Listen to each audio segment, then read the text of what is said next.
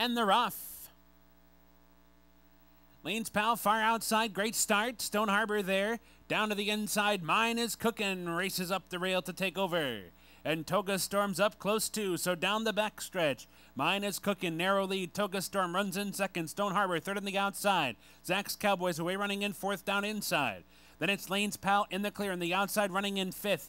Me and my Wildcat in the thick of things sixth. True 41 is seventh by four. Sequoia's Q is about nine or ten lengths behind another five. Back to seeking to run in AP Joe. Fire turn quarters up, 23 seconds flat.